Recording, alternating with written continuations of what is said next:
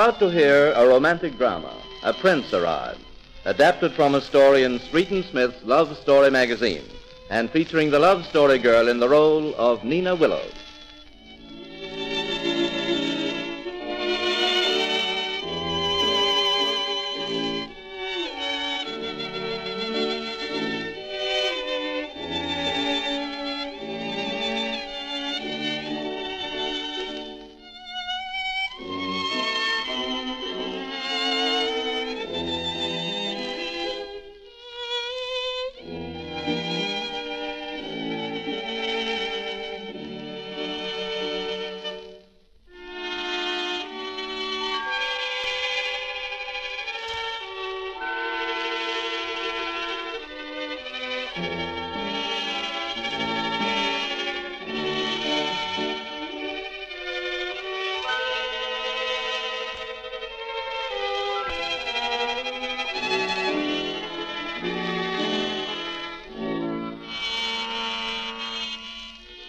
And now we tell you the story of Nina Willows, the girl who was beautiful all but her face.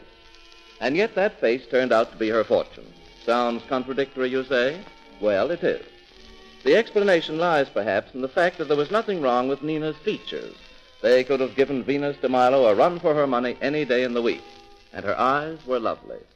It was Nina's complexion that was, shall we say, unfortunate. As a matter of fact, Nina's complexion was doubly unfortunate, for she worked in a beauty parlor. And although she gave the best facials and finger waves in the shop, Nina was always in deadly fear of losing her job on account of that wretched complexion. Her particular dread was the rich and pampered Agatha Shields, the shop's best customer. You see, Agatha was given to speaking her mind, something like this. But I want Betty to give me my facial. I'm sorry, Miss Shields, but Betty's booked up for the entire afternoon. I told you that on the phone when you called this morning. I know, but my goodness, Nina, can't you cancel one of those appointments? I'm sorry, Miss Shields. I'm afraid not. I could give you your facial if you like. You, give me a facial. I'm really just as good as Betty. Mr. Burns will tell you so himself. Heavens, no. If your face is an example of what your treatments are like, no thanks. Oh. I want Betty. There's nothing wrong with her skin. I'm sorry, but Betty can't take you, honestly. But my skin has nothing to do with my treatments, Miss Shields. The doctor says it, it's a grand condition. Only, only a long, expensive series of X-ray treatments can help it. I- I'm saving up I'm now sorry, so Nina. that I... I really haven't time to listen to your troubles. If I can't have Betty, I have other things to do. Goodbye. I really don't understand why Mr. Burns hires anyone with such a wretched skin. Oh dear, if, if only she wouldn't talk so loud. She said he'd have to fire me if she complained again. It, it isn't as if my face were really so terrible.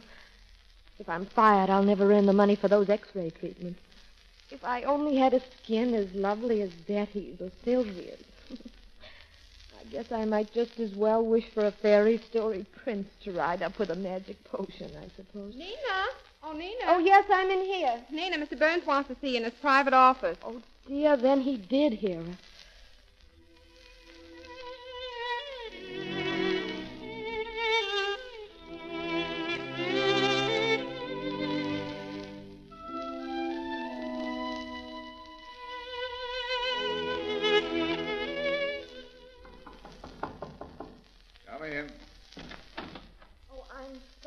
Mr. Burns. I tried to explain it. Oh, Nina. Oh.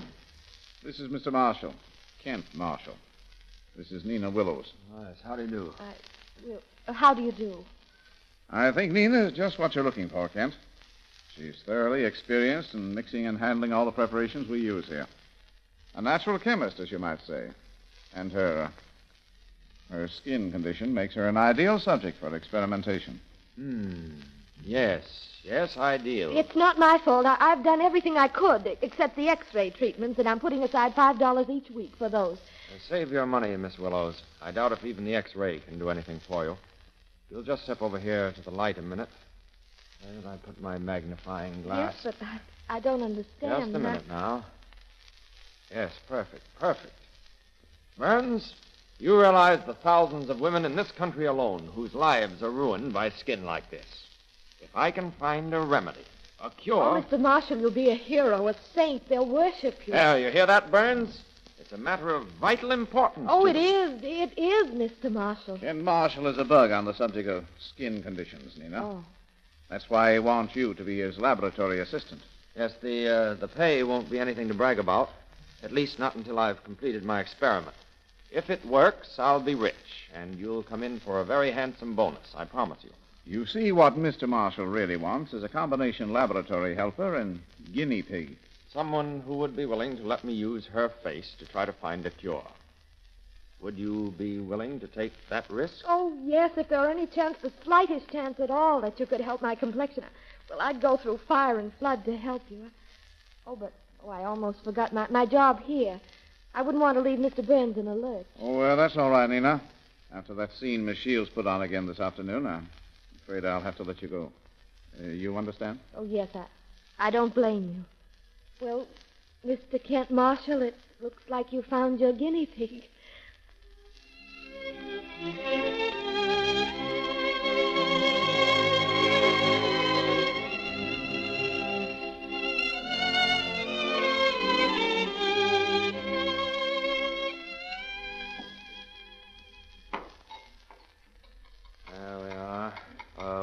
Flame under that retort, Nina. I don't want an explosion that would blow us both sky high. I'm watching you. Yes, yes, of course. I, I know you are. It's just that I'm getting so jumpy now that it's time to really try to try my new solution. Yes, I know. Uh, you've been a great help to me, Nina, this last month. I really don't know what I'd have done without you. Nina, gosh almighty, watch that flame. Oh, for goodness sake, stop fidgeting. I've got both eyes on the flame. The solution is nearly the right temperature. Hmm.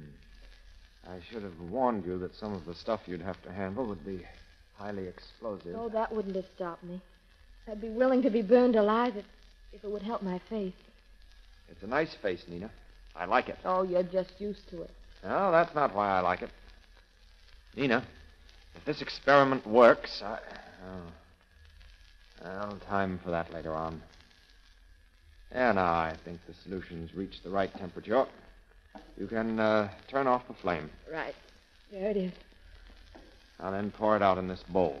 You can't let it get too cool or it won't work. Mm-hmm. Well, there. Well, we're ready, Nina. We're ready to try it. You're. You're not frightened. Not with you, Kent. Nina, I. Oh, well, there's no time for that. Come on. First, I'll wipe off your face with this antiseptic solution. So, Mm-hmm. don't want to run any chance of dirt or oil spoiling our experiment. There we are. That's the ticket. I probably shine like a new kettle. You do, particularly the nose. Oh, Kent. Steady now. Here goes. Keep your fingers crossed. Are you ready? Yes. I'll spread it on. Oh, Too hot?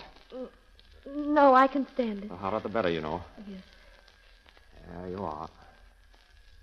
Well, covered up like a mummy. Now then, come on over under this light. I'll have to watch this, see if there's any chemical action. Where the heck is my magnifying glass? In the. Quiet, quiet, quiet. We'll stretch the mask. Ah, yes, yes. Here we are. Now then, still. Very still. No, no. Well, I, I don't see anything. It May take more time. Mm. Nothing yet. The whole thing's absolutely dormant. No, it's not dormant. It's dead. Oh, Kent. Something's gone wrong, Nina. Our experiment's a failure. Oh, no, it can't be. Try again, Kent. Maybe it's the temperature. You said yourself the hotter the solution was, the better. Maybe we'll let it cool off But, too Nina, much. you can't stand it any hotter. Oh, yes, I can. Lots. Now, wait, I'll wash this mess off and we'll start again. You light the uh, burner and heat a new batch of the solution. Right? There. Uh, we're all ready for a fresh start. It's the temperature, Kent. I know it is. We, we couldn't be so far off in our calculations. You're uh, a brick, Nina. I'm crazy about you. Even with a shiny face. Anyway, every way, Nina. I. Oh, Nina, I, I didn't mean to kiss you. I didn't mind. Nina. Well, Kent, really. When I suggested you get Miss Willows to work on, I didn't mean in just that way. Agatha, I didn't expect you down here. That's fairly obvious. Phew. Does it always smell as bad as this? Well, it's the sulfur, Miss Shields. You'll get used to it. You may. I wouldn't. But then I guess I'm unusually sensitive about things of that sort. The, the solution is ready, Mr. Marshall. We'll let it get a little hotter. But isn't that dangerous? We've got to take a chance. Agatha, you'd better get out of here. We may have an explosion. And leave you alone with your little lady friend? No, darling. You need a chaperone. Now, that's hot enough, Nina. Pour some out. Right. Oh, so you call her Nina? Don't be a fool, Agatha. Can you stand it as hot as this, Nina? Yes, yes, of course. It's going to be rather painful. I, I don't mind. Oh, I'm not blaming Nina, as you call her. I suppose every good-looking man is bound to have his lighter moments. But I do think, out of fairness to her, you might have told her about our engagement. Engagement. Of course. We're engaged to be married. Oh. You don't deny you gave me this ring, do you, Kent? I know, but good grief, Agatha. I wrote you two weeks ago breaking it off. Oh. Nina, listen to me. Let me go. I want to get out of here. Nina, Nina, don't leave me, Nina. I can explain this. Let her go, Kent. You don't really want a wife with a complexion like that. The heck with her complexion. I love her, Agatha. Don't you know what that means? Oh, means? my dear Kent, don't be so melodramatic. I'm not melodramatic. I love her and I want to marry her. Oh, what was that? What happened? It exploded. That glass thing blew up. Everything on fire. Where's Kent? Over there, unconscious on the other side of the flame. Help me get him out. No, no, we can't reach him. Come we'll here. all be burned up if we I try. don't care. You're going to help me No, get no. him. Let go of me. I'm getting out of here.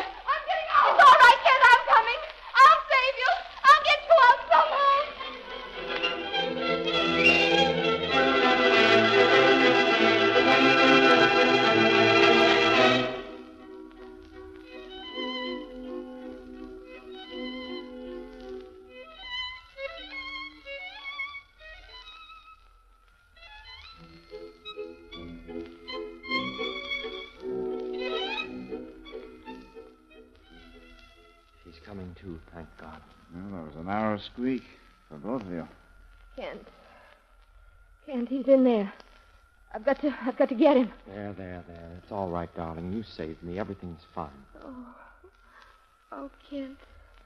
You're sure you're all right? You, you do love me, Nina? Oh, of course. But you don't want a wife that looks like. I'd want you, darling, no matter if you look like a Fiji Islander. But you don't. And, darling, the solution worked. What? It was the heat of the flames that turned the trick. In another week, you'll have a skin like a baby. Oh, Kent, that's wonderful. Think what that's going to mean to thousands and thousands of women. Think what it's going to mean to us. It means I'll be rich. We can afford to get married. To Agatha.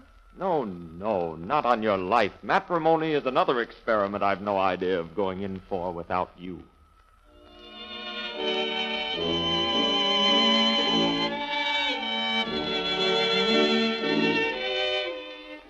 You have been listening to a romantic drama featuring the Love Story Girl and presented with the permission of Street and Smith, publishers of Love Story magazine.